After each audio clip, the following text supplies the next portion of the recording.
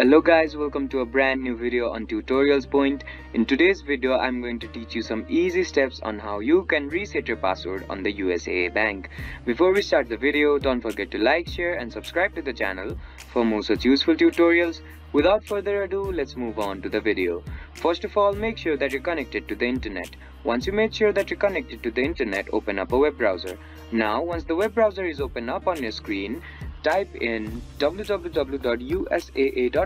and hit enter. After the home page of the USAA bank opens up on your screen on the top right corner of your screen you'll see the log on button. Go ahead and click on it. Once you click on the log on button just below the next option you'll see the I need help logging on button. Go ahead and click on that. After you click on that button you'll be guided to another tab. In this tab you'll have to click on reset my password option.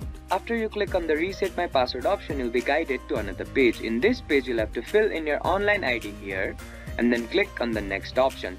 Once you click on the next option and if you have filled in your online ID correctly, you'll be guided to another page which will help you to reset your password on the USAA Bank.